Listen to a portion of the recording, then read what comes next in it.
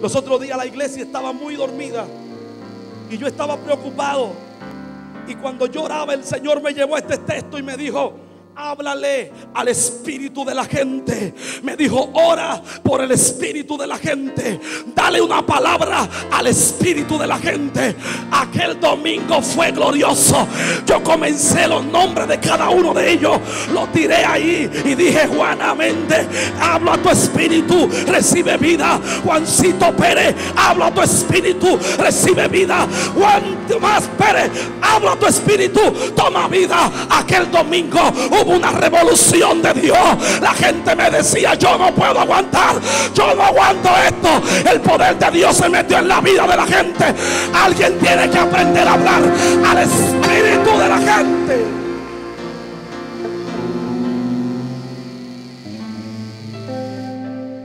Wow. Mas el justo por la fe vivirá.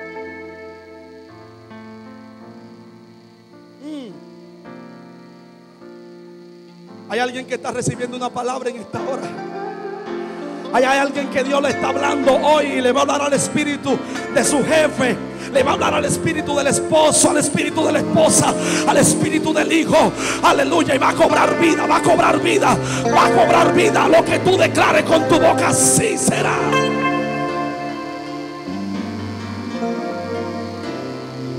Uh. La Biblia dice, siento el poder de Dios, hermano.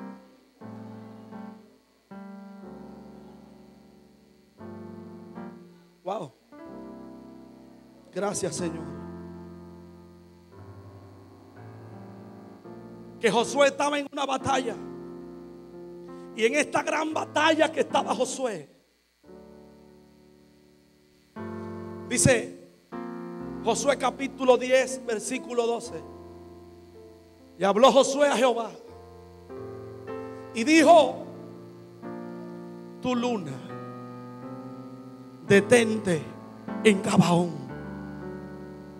Y tu sol en el valle de Jalón. ¿Sabía usted que la atmósfera se somete a una palabra? Los discípulos no entendían cómo Cristo le hablaba al viento y el viento le obedecía. La palabra palabra significa neuman, que significa soplo o vida. Y cuando Cristo le habló al viento, el viento de la boca de Dios ordenó al viento que se detuviera. O sea, hay gente que no está, no está entendiendo. Estaba en una campaña los otros días en San Cristóbal. Estábamos frente a la iglesia. Y cuando comienza a llover, comienzan los evangélicos a sacar sombrilla y a meterse para dentro de la iglesia. Y yo dije, no, no, no, no, no, no, no. Si el Dios de nosotros está aquí y está vivo y desea que prediquemos aquí, vamos a orar a Él y el cielo va a tener ahora que cerrarse y no va a llover. Aleluya. Vieron como tres que dijeron, amén.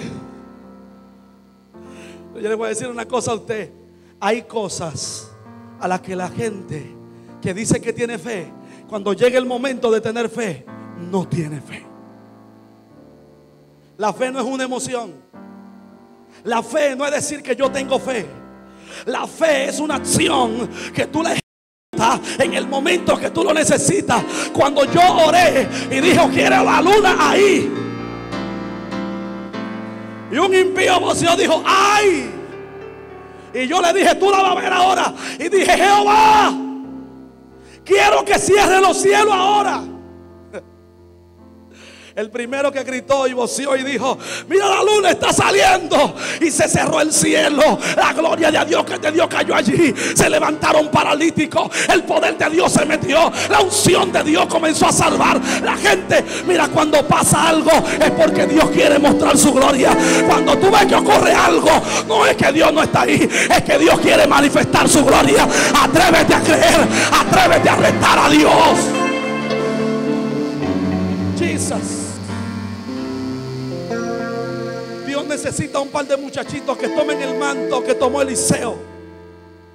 Dios necesita un par de Eliseo que tomen el manto y hagan como hizo Eliseo, que golpeen el Jordán y digan, ¿dónde está Dios? Para que tú veas dónde está Dios. ¿Dónde está el Dios de Elías? Hay alguien que tiene que levantarse aquí bajo un poder de la unción de Dios. Pero esa unción va a venir cuando alguien se atreva a creer en Dios.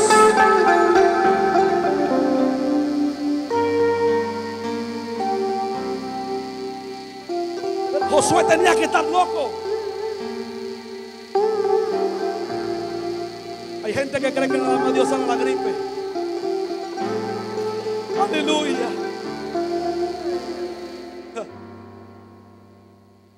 Yo llegué a mi casa los otros días. Wow, impresionante. Mi niña tiene gripe.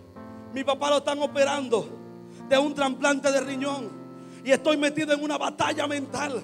Tengo que hacer todas las diligencias, buscar el dinero, ir al hospital. Y cuando llego a la casa, mi esposa me dice, no me puedo parar. Siento un virus raro. Mis pies se me están encolvando. Los dos pies los tiene así. Y yo, yo, yo, yo agarré mi aceitico. Yo tengo uno en la habitación, tengo uno en el carro, tengo uno en el altar. Y agarré mi aceite y le tapé mi aceite. Y comencé a frotarle aceite. Y le dije, oye bien, diablo, estoy guapo. Y mi esposa me miraba y le dije, diablo, estoy guapo, estoy enojado.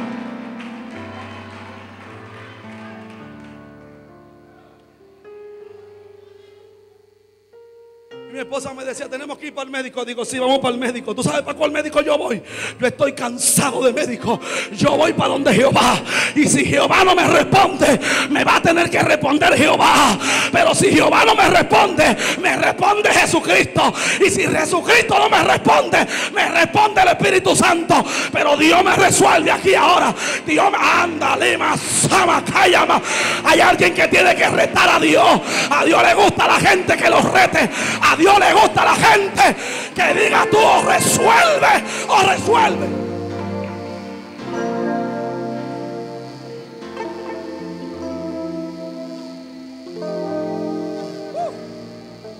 Mira, los dos pies se pusieron derechos y le dije camina. Me dijo, no, es que cuando pongo los pies en el piso digo, reprendo al diablo. Te dije que camine ahora derecha sobre tu pie. Comenzó a caminar y le dije, tú estás sana. Me metí en la habitación y aquel día le regalé, aleluya, al diablo. Amanecí de rodillas y en otra habitación clamando y diciendo, tú eres el que está vivo. Tú estás vivo, tú estás vivo. Tú eres Dios todavía. Todavía tú funcionas. Todavía tú sanas. Todavía tú haces milagros. Todavía, todavía Todavía tú cuando clamas, tu brazo de poder está desnudado.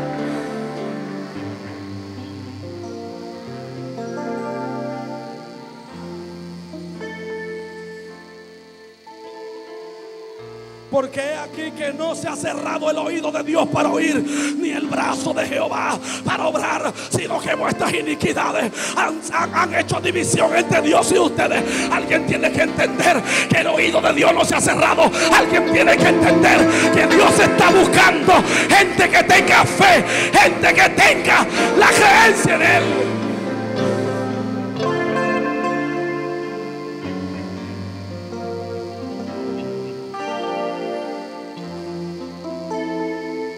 Le dijo a Josué que le ordenara al sol y a la luna que se pararan.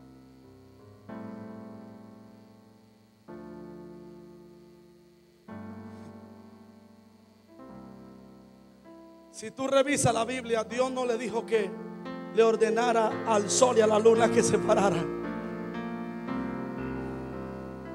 Hay cosas que Dios no te va a decir. Están escritas en la palabra. Dios dijo que está contigo. Y si Dios dijo que está conmigo, que me lo demuestre. Yo no sé si tú te atreves a creerle en ese Dios. Yo una vez salí a Estados Unidos. Esto es un asunto de fe. Dios me ha bendecido. Pero dentro de mi bendición, cualquier día paso por unos procesos. Porque sé Dios. José estaba en casa de su padre rico. Estaba bendecido, pero Dios lo saca para pasarlo por proceso. Mi padre me dice, vamos a Miami.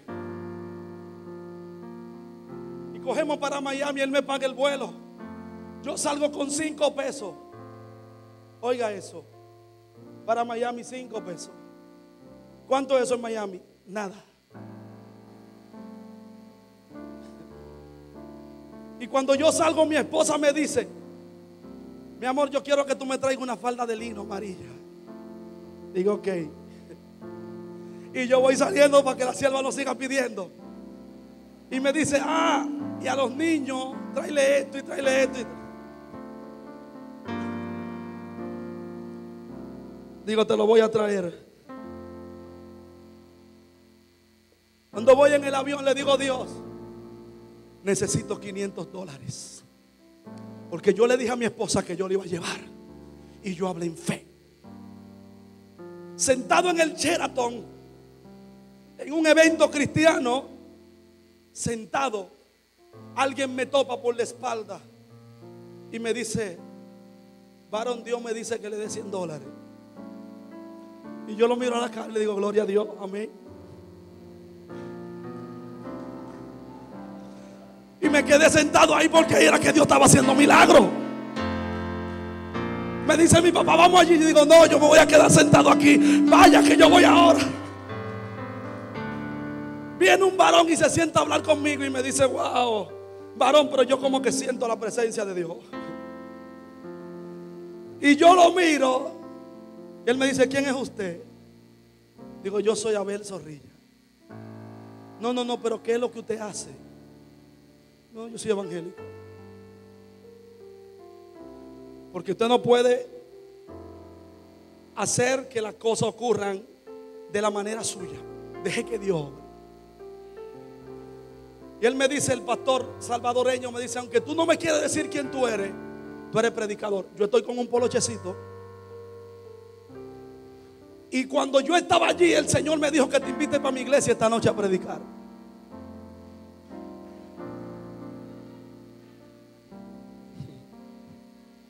Digo yo, gloria a Dios. Cuando voy, hermano, 200 dólares, van 300 en un solo día. El domingo en la mañana yo voy a hacer una iglesia a congregarme porque el evento se terminó. Llaman al obispo Rincón y le dicen, mira, pasó un problema con el predicador. Y Rincón le dice, no te preocupes que yo llevo uno aquí al lado. Yo estoy oyendo a Rincón, pero yo no estoy entendiendo. Cuando, cuando termino, el, obispo Rincón me dice, Zorrilla, vas a tener que predicar. Y usted sabe de cuánto fue la ofrenda, ¿verdad? ¿De cuánto? Los que saben sumar, ¿de cuánto fue la ofrenda? 200 dólares. Y yo me vi con mis 500 dólares. Yo, yo le pregunté al mismo obispo, digo, lléveme a una tienda donde vendan lino. Le compré su falda amarilla de lino. Le compré la ropa a los niños. Pero en mi casa yo declaré una palabra. Yo no le dije a mi esposa, yo no tengo. Yo le dije, yo te la voy a traer. Nosotros hicimos un anexo en la iglesia, como este espacio aquí. Un millón casi medio de pesos. Y no habían, en la cuenta de la iglesia habían 252 mil pesos. Los ingenieros me preguntaron, ¿cómo lo vamos a hacer? Y yo le dije, con fe. Pero pastor, le dije con fe, comiencen a romper mañana, rompan la iglesia, los jóvenes que amanezcan aquí, vamos a arrancar, que el Dios que está conmigo está con esta iglesia y está con ustedes. Dios está por nosotros, la mano de Dios se va a revelar, el poder de Dios se va a comenzar a meter cuando alguien se atreva a declarar una palabra. Una palabra va a cambiar el rumbo de tu vida. Que tú declares con tu boca. Pero es que yo he hablado y no ha pasado nada. Sigue ensayando. para alguien y dile, sigue ensayando, dile. Sigue, sigue, sigue. Sigue hablando, sigue hablando. No te pare, no te canse. Declara una palabra los aires.